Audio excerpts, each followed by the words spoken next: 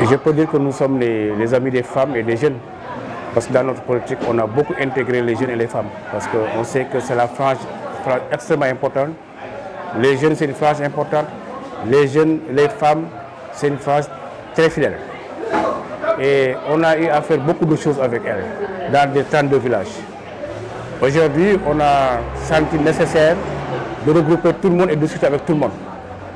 Toutes les personnes qui ont été investies sur nos listes. Et vous savez qu'il y a beaucoup de femmes. Il y a beaucoup de, jeunes. Parce que nous pensons qu'il faut mettre tout le monde. Euh, Aujourd'hui, on a eu à les regrouper pour que tout le monde se connaisse, que tout le monde parle. Pour dégager des stratégies qui vont nous permettre quand même, dans chaque localité, de pouvoir gagner là-bas. Et si on gagne, euh, on gagne, c'est ça qu'on gagne ce soir, on gagne partout. C'est ça, ça l'idée qui a fait qu'on s'est regroupé aujourd'hui pour une première prise de contact. On va faire une autre prise de contact avant la campagne on peut huiler la machine et ensuite euh, faire en sorte que tout le monde soit impliqué dans ce que nous sommes en train de faire. C'est obligatoire. La parité, c'est obligatoire, sinon la liste est nulle. On a fait une bonne parité, non seulement entre hommes et femmes, mais on a fait aussi une bonne parité, entre, on a bien fait un dispatching entre les villages. Parce que nous voulons que ce soit démocratique. Les villages les plus importants doivent avoir une bonne place. Parce que ce n'est pas tout simplement Niahar Centre.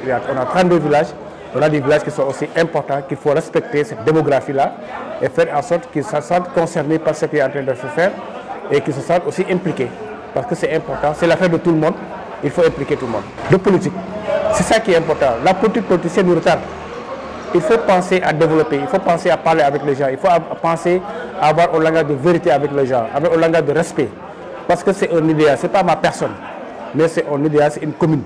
Nous voulons euh, bâtir une commune, mais on va la bâtir ensemble, autour de ma personne. Mais ce n'est pas ma personne qui est importante, parce que c'est quelque chose qui nous appartient nous tous. Et, c'est comme ça qu'on l'a fait. D'ailleurs, dans tous les villages, on a demandé aux villageois de choisir leurs conseillers. Ce n'est pas nous qui les avons choisis, ce sont les villageois eux-mêmes qui ont choisi leurs conseillers. Donc c'est ça une démarche participative qui va nous permettre quand même de développer ensemble euh, une commune, parce que c'est l'affaire de tous, ce n'est pas mon affaire à moi-même.